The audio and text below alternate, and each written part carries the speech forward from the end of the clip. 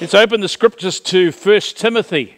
But before we get into the text, uh, you no doubt do not need reminding of the um, physically demanding and spiritually encouraging and theologically challenging weekend that we had last weekend. I myself feel like a little rowboat. I've been in one of those a few times over the years, rocking around in the wake of a super tanker that has just gone past. And um, but anyway, life must go on, and so we press on here in the um, pulpit. I am not getting anything uh, coming up here. Okay, there we have it. We do have things coming up, and um, as you know, we've finished a series on the Ten Commandments, and what I wish to do now is start on a series on First Timothy, and God willing, moving on into Second Timothy.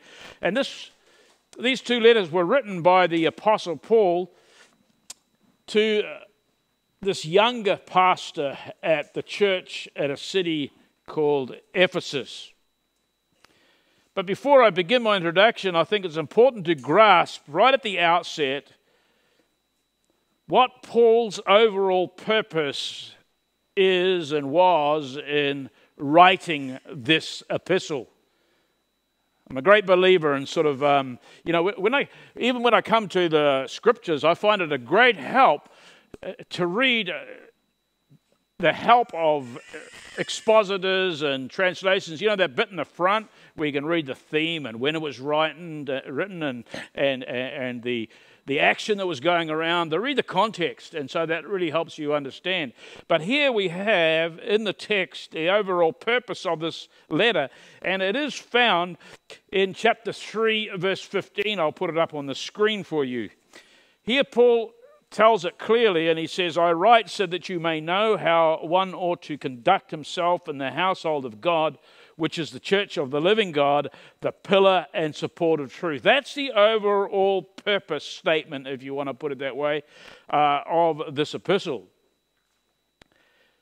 Now, there is a whole lot of truth in this verse, and uh, we will deal with it when we get there, but let us all lock this away and see it as Paul's big picture statement, purpose statement for this letter of Timothy, because it will help you kind of gather everything together and to see where Paul is coming, on, coming from uh, in his instruction to Timothy. Because if you keep this in mind, it will help you when we contrast the true gospel with the counterfeit gospels in chapter 1 of this epistle. It will help you understand as Paul instructs about prayer and public worship in chapter 2 of this epistle. It will also help you understand when we consider apostasy and its remedy in chapter 4. And also how he instructs on how to treat older people and widows and eldership in chapter 5. And then, of course, it will help us to understand how we should handle conflict, wealth, and contentment in chapter 6. It kind of pulls it all together and puts a proper perspective on it if we hold that purpose statement in view. As the Apostle Paul's two letters to Timothy and his letter to Titus, they are often called, as you know, Alex is taking us through this, one of them these three epistles are often called the pastoral epistles. And so here is Paul writing to his protege, his spiritual son, as he calls him. Timothy was Paul's most cherished pupil in all of his ministry. It's a letter from one man in the ministry to another, hence, we call it a pastoral epistle. This is appropriate in one sense because these letters were written to young pastors who were involved in the leadership of churches, hence its appropriateness. And so often these three letters are viewed as a kind of a, a handbook for pastors or those in leadership in the church, and rightly so. Yet, as we will see, Much of the material in these epistles is designed for the communities that these men are pastoring in themselves. Much of the material. So, with this in mind, I would like you to understand these public or these epistles as, as simulated public epistles, if you will. Even though they're written to individuals, they are written to the community at large. With that in mind, I would like to view these letters as intimate letters of instruction, not only to leaders, but to, but to believers, all believers.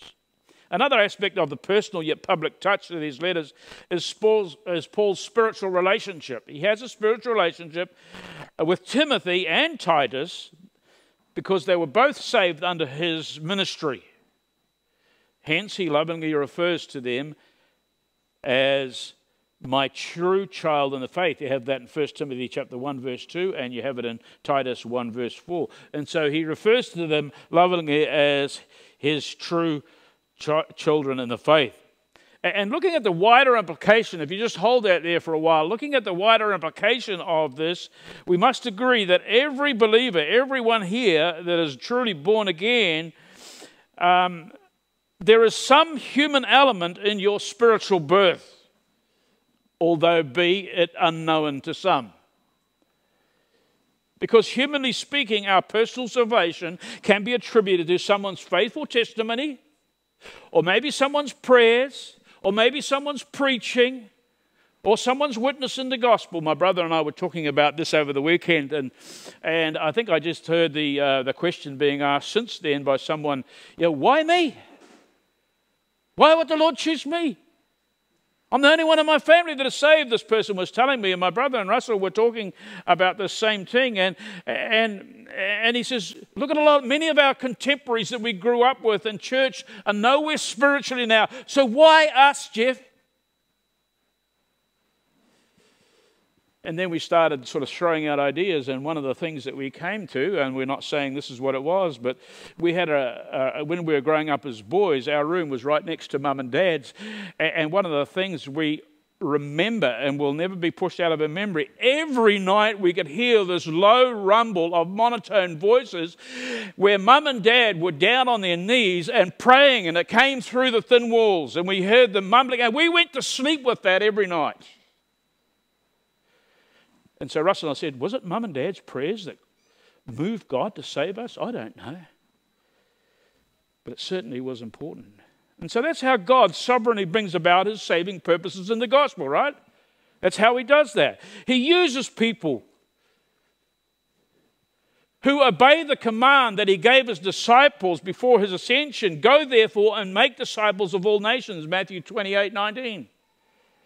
That reminds us that God's mission for his children is to spiritually reproduce others in the life of others, or spiritually reproduce ourselves in the life of others.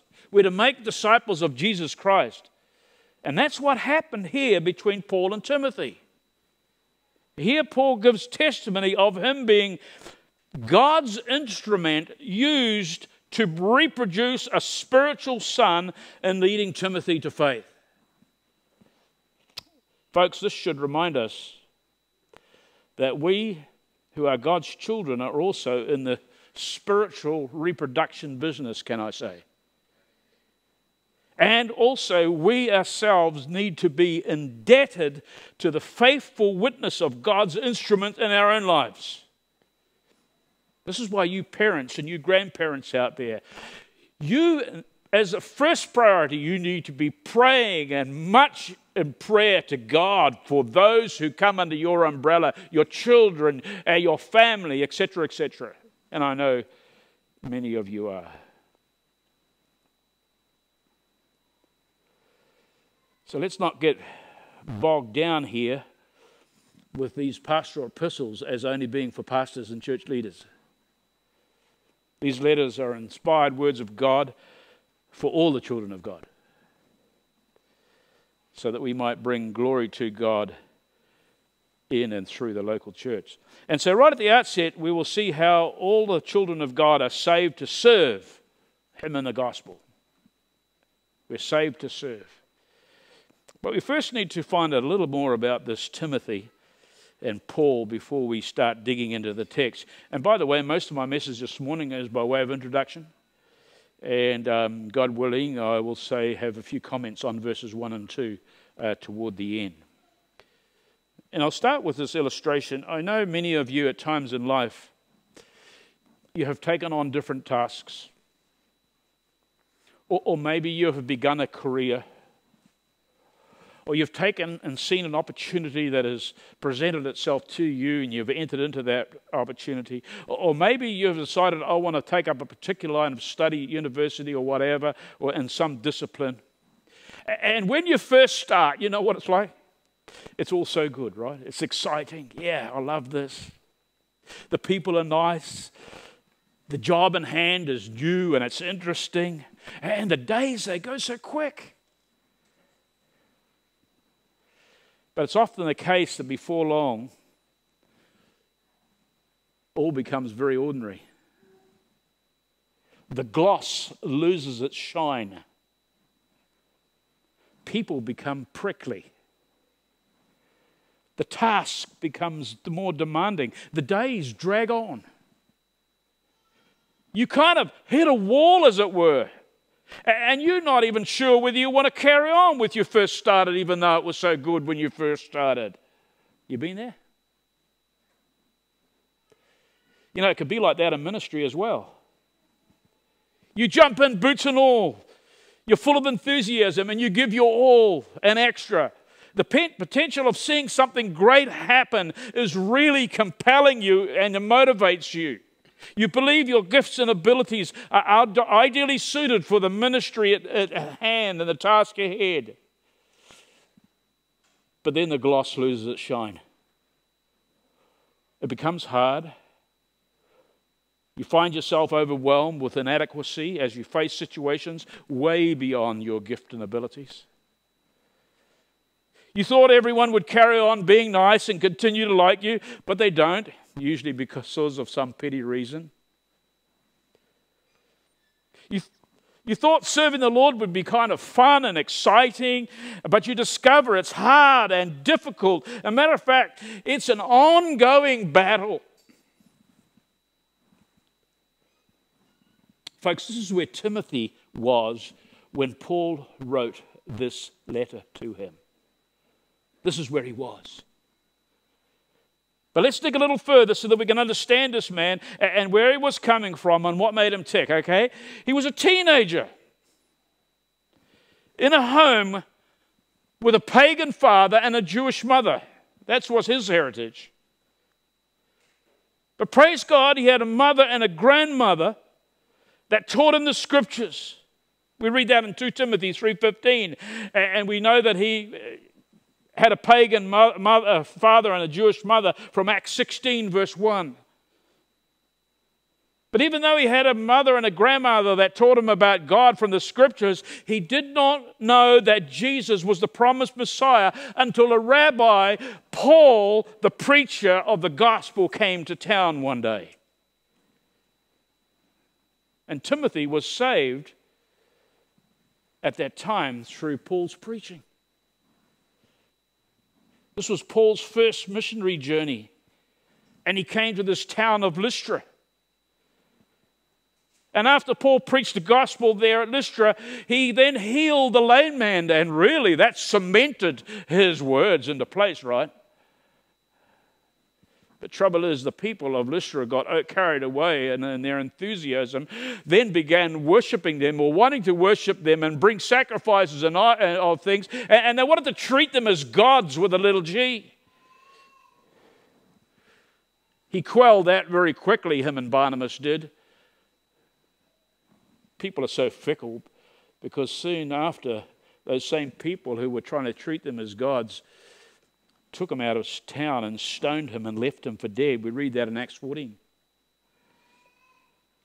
But amazingly, Paul got up from his traumatic experience of being rocked on and he courageously returned to the city. Imagine that. Jordan brought this to my attention when we were going through the book of Acts a long time ago. Imagine that being stoned and left for dead and hated and despised. And here he gets up and he goes back to the city.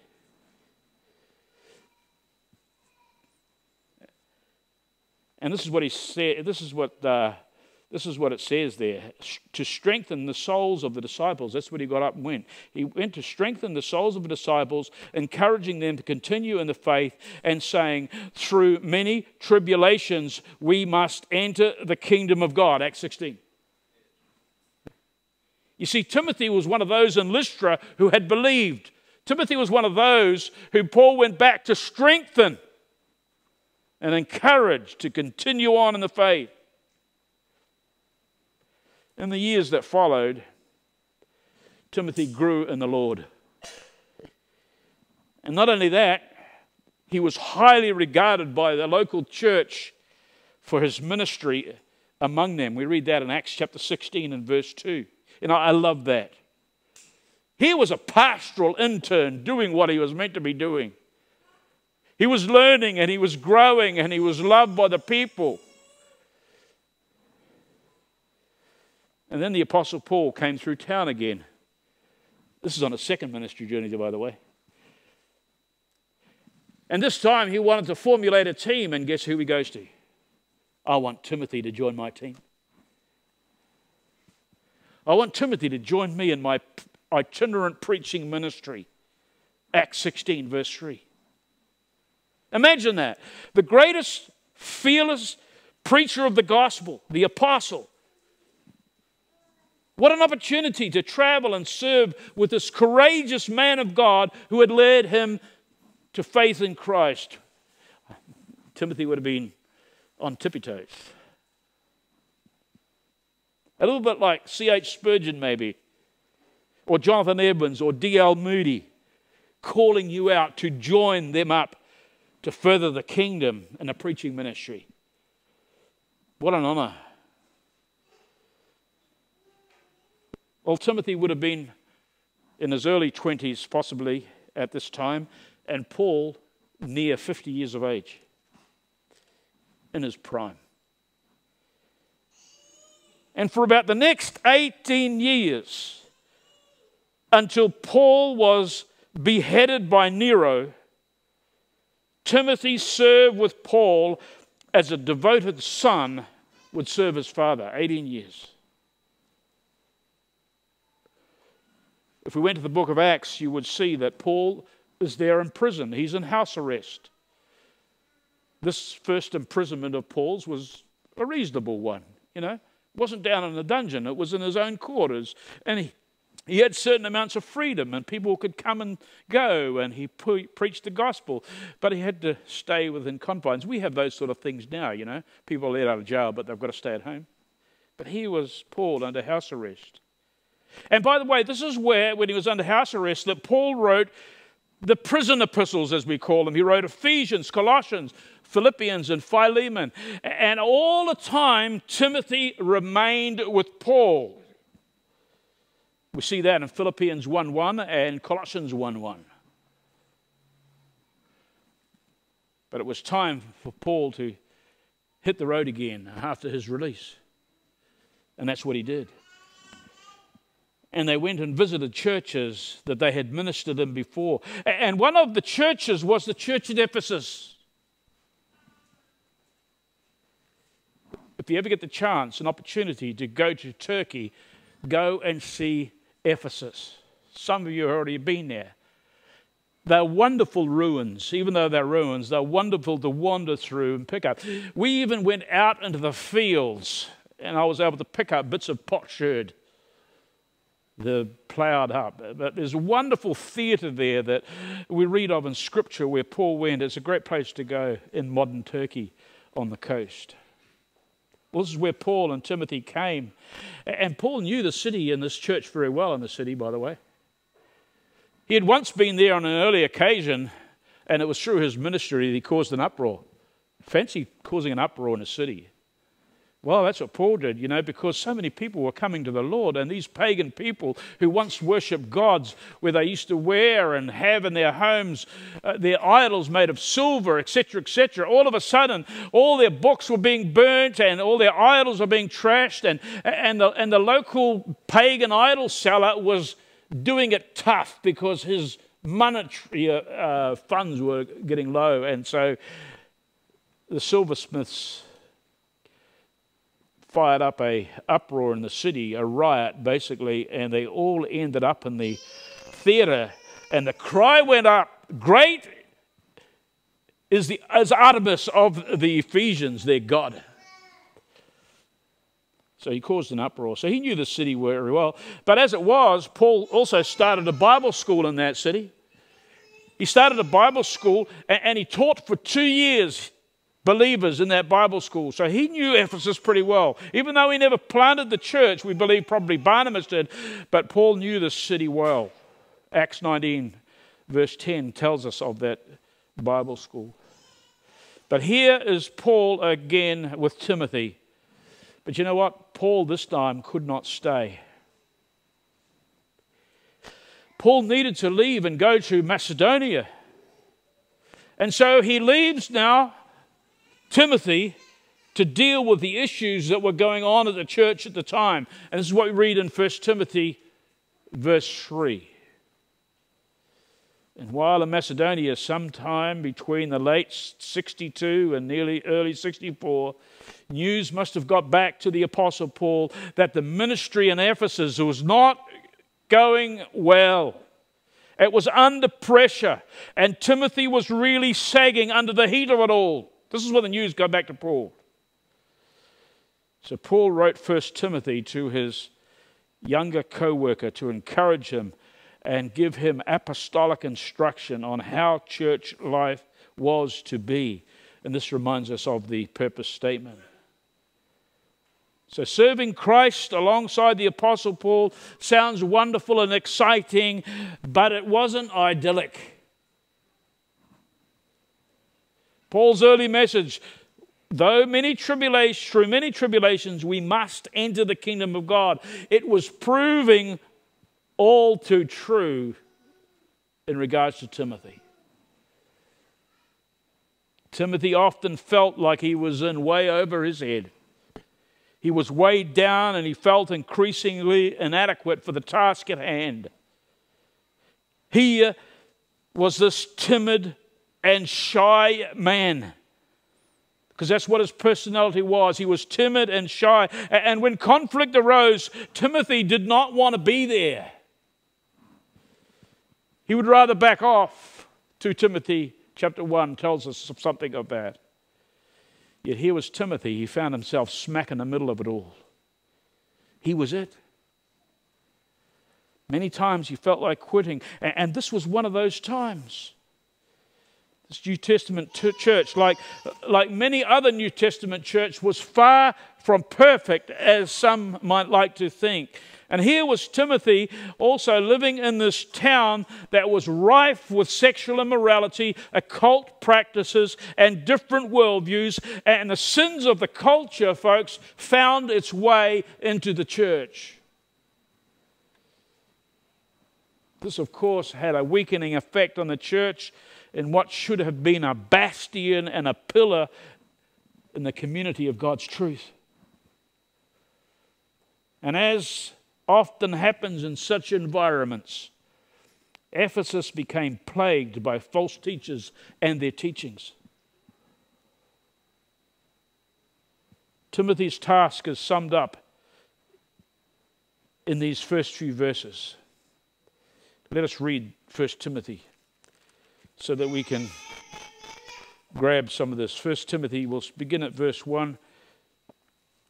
And uh, just for the sake of context, I'll read down to end of verse 11, if you have your Bibles there.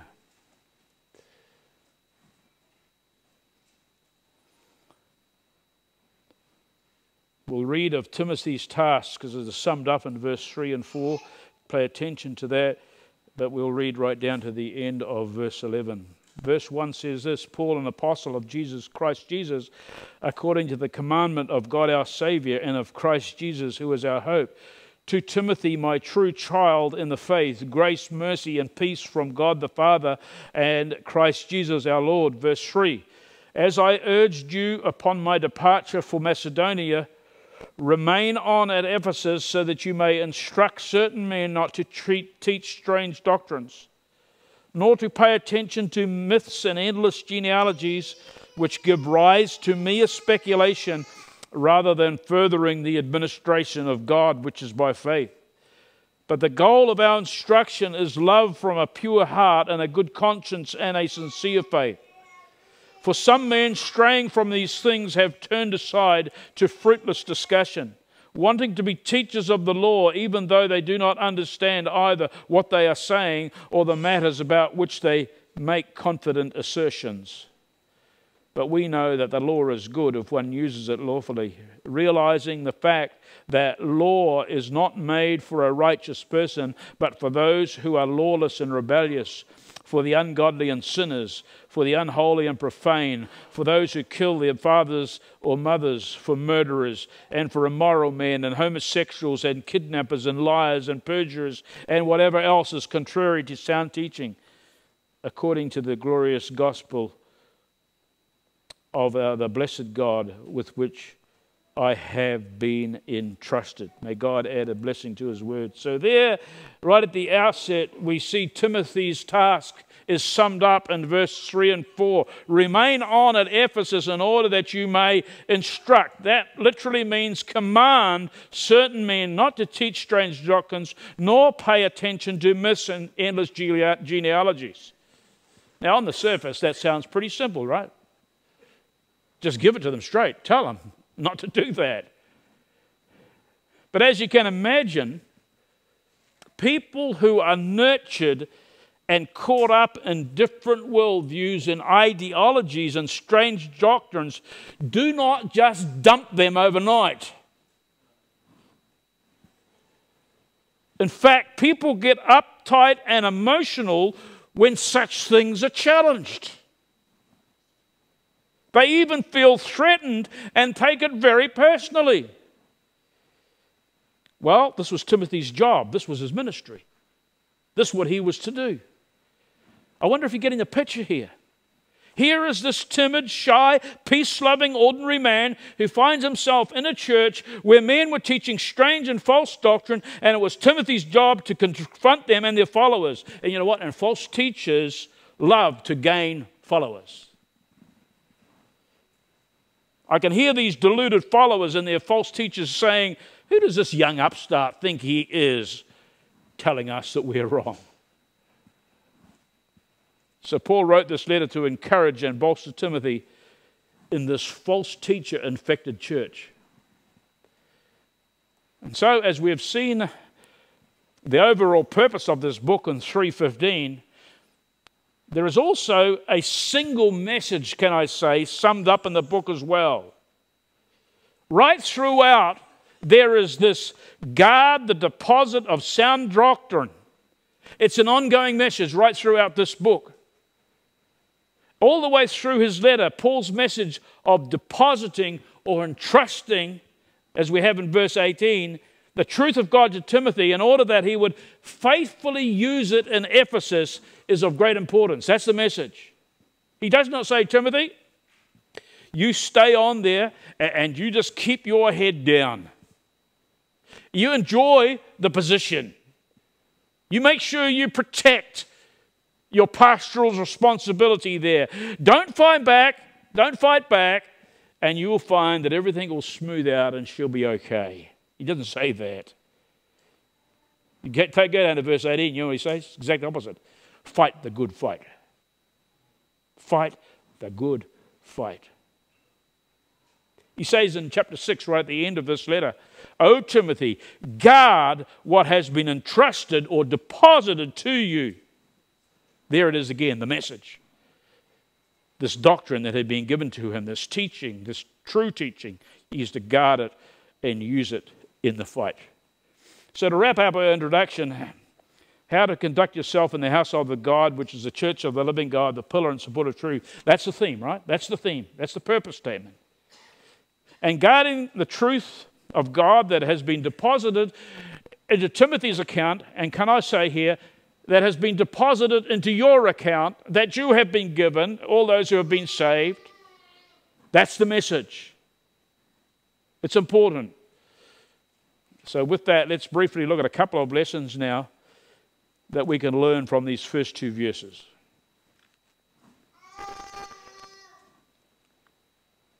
First one is believers are saved to serve. Okay? Believers are saved to serve God. Right at the outset, we see, if we look in our text, Paul introduces himself to Timothy. Now, if you were writing a letter, we would probably start, uh, we would probably start with verse 2, if we were even, um, rather than verse 1 at the beginning. We would say to Timothy, and end with what Paul says in verse 1. But Paul begins with his name alongside a descriptive title of his calling, as well as telling us that he is a man who is under orders. You see that? He's telling Timothy that he's a man under orders. It says, according to the commandment of God our Savior and of Christ Jesus, who is our hope. He identifies himself as an apostle of Christ Jesus according to the commandment of God our Savior. Now, there is one main, lesson I wish to highlight for you uh, here, and that Paul was under orders. Whose orders? They were orders according to the commandment of God our Savior and Christ Jesus. And it is only right that we as believers Believers in the same Christ Jesus, the same God our Savior, understand that we're under orders as well. Okay? We are under orders as well. This would have been a powerful reminder to Timothy also of his mission. Right at the outset, he would have been given a jolt here. You know, to have Paul use his full apostolic title, he doesn't always do that in his, in his letters to churches and to, and to others. But he here is using his full apostolic title. This would have challenged Timothy to stay the course, but it also would have strengthened his hand in his ministry to the people of Ephesus. You see, although things were tough, Timothy was thinking, would have been thinking, although the ministry was bigger than him, although his feelings of inadequacy were real, he was still a man, just like Paul, a man under orders orders from God and Savior Christ Jesus, just as the mighty apostle was under his orders as well. The lesson here should not be lost on all of it, any of us. God has saved us so that we might serve him. That's pretty simple, right? Serve him as men and willing, men and women who are willing to obey God our Savior. Now, that's an interesting title, God our Savior. I don't know if you noted that, but it's worth a deeper look. Not a Savior, but our Savior. It's real personal here. Paul uses this unusual, it is an unusual phrase, unusual because it's used six times in the pastoral epistles and nowhere else in Paul's writings. And so, what this highlights is that the foundation of any service we render to God must be based on the truth that God has saved us, that God is our Savior. The idea of God as our Savior is rooted in the Old Testament, of course.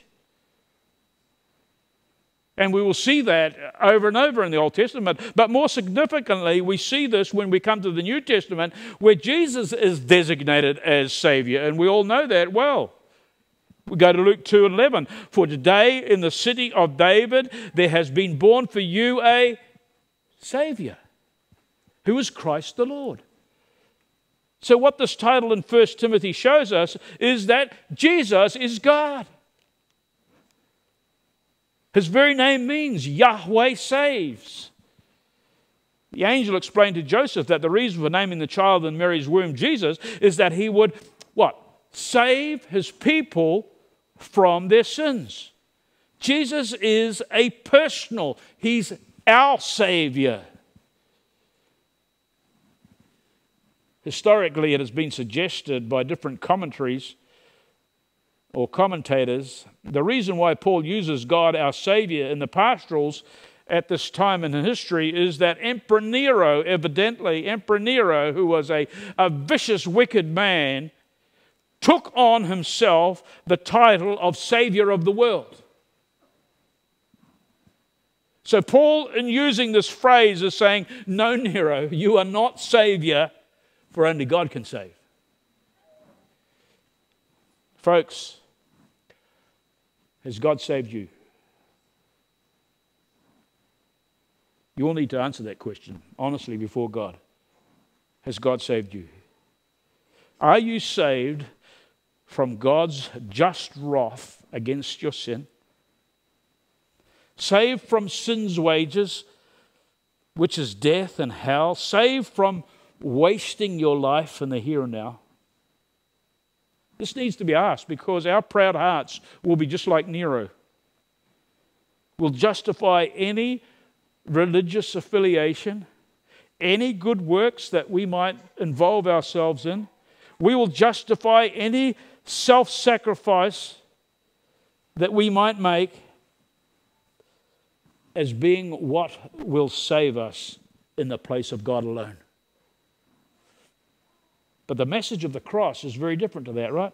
The message of the cross of Jesus Christ, it, it crushes human pride by stating 1 Corinthians 1.29, no flesh shall, be, shall boast before God. The gospel message is not, is if your life lacks fulfillment, if you're having a few problems in your life, try Jesus. That is not the gospel message. The gospel message is apart from Christ, you are lost, you are perishing, you are under God's judgment, and that you cannot save yourself. That's the gospel message. See, God does not save any who are worthy because none are worthy.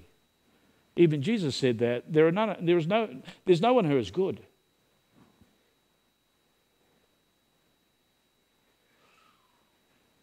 But in His grace, God does save unworthy sinners who take refuge in Jesus and His shed blood on the cross.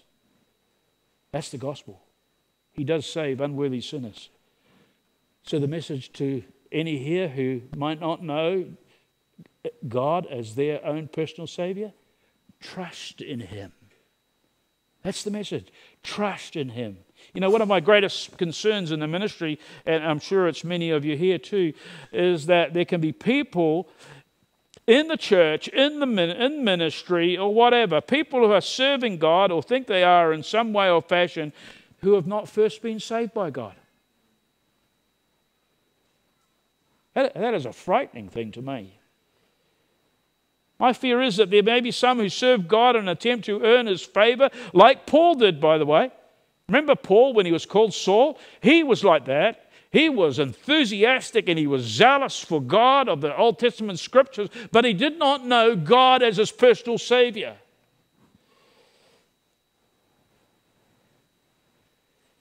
Make sure that God is truly your Savior, then you can serve Him. We are truly saved by God's grace alone, through faith alone, in Christ alone, are all under orders to obey God's call. We have been saved to serve in the gospel of Jesus Christ. There, that's pretty simple. Well, why can we have confidence in this call? Simply this because who is Jesus Christ? He's our hope, right? That's what it says in the text. He's our hope. See that?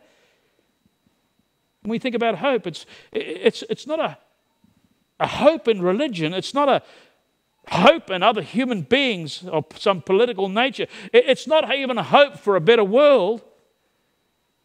But our hope is, as the hymn writer of old says, our hope is built on nothing less than Jesus' blood and righteousness. Christ Jesus Himself is our hope. Amen. Biblical hope is not an uncertain wish for a better tomorrow. No. Biblical hope is certain, though unseen. Though unseen, it will give way to sight in a coming day. It is certain because our hope rests on what? It rests on the tangible, physical, bodily resurrection of Jesus Christ. And He is our hope. Because He, he arose and ascended to heaven, we will arise and ascend to heaven. Our hope believes in the reigning Christ, the one who is now seated at God's right hand, the one who is far above all rule and authority. Ephesians 1, verse 20 to 23. Our hope waits for the promised returning Christ who will come again. That's our hope. My dear people, we're under orders to serve God, our Savior, and of Christ Jesus, our hope. Just briefly now, I want to highlight a second lesson from verse 2. And this emphasizes Timothy and Paul's true child in the faith, which shows us that the goal of our service is to reproduce ourselves spiritually, as Paul had done with Timothy, which I mentioned before. And so, our second one is that the aim of our service is to make disciples or true children in the faith. We see this in verse 2. See, Paul dresses Timothy as his true child in the faith.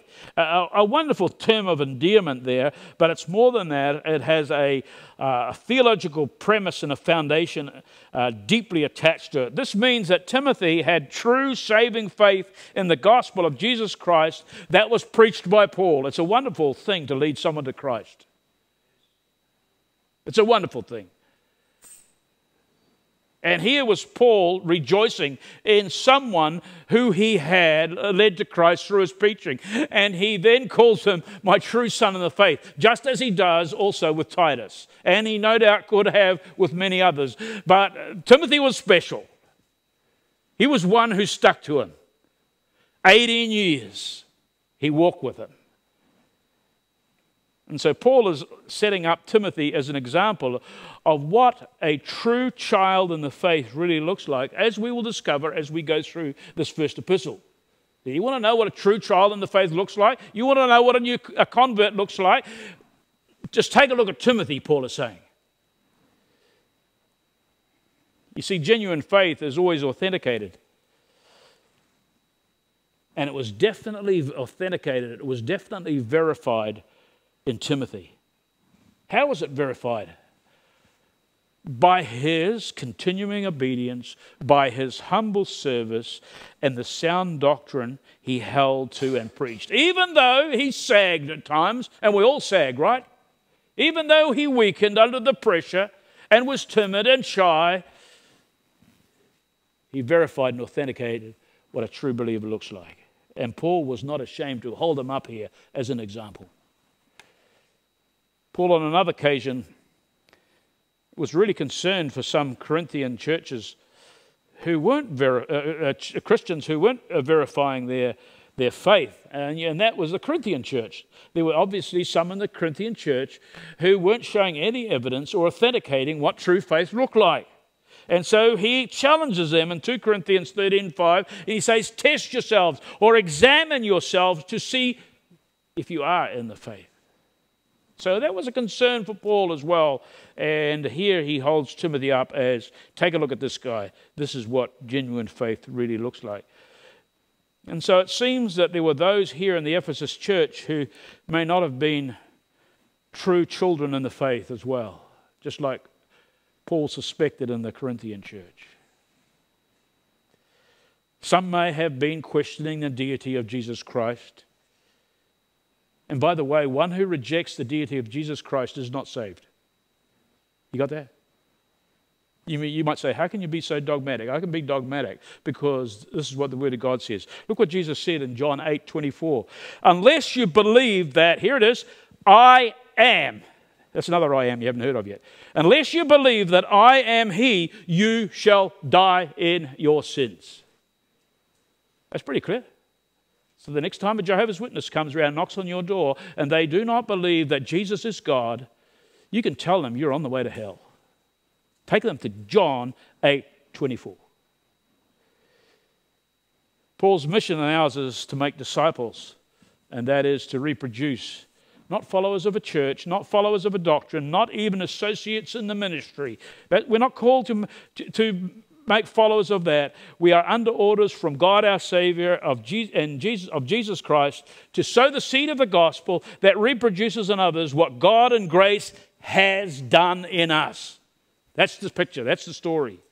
We're called to serve in producing true children of the faith. Do you know God as your Savior? If not, do not rest, folks, until you do. If so, great. Then understand that He has saved you to serve Him. The aim of that service is to bring glory to God by you becoming His true child in the faith and by you bringing others to become His true children in the faith, as Paul did to and with Timothy. I leave you with a short story I read about it in my uh, research here. And it's about the great preacher, uh, preacher D.L. Moody. If you haven't heard of D.L. Moody, you need to do some reading and look at some of our heroes of the faith. Many of you will know of D.L. Moody. D.L. Moody was a uneducated shoemaker whom God saved. And a man named Reynolds told about the first time he ever saw D.L. Moody way before D.L. Moody became famous, can we say? And the story is this Moody was in a little shack that had been abandoned by a saloon keeper. And here he was holding a small black boy in his arms, reading to him the story of the prodigal son. Moody couldn't even read all the words, so he had to skip many of them.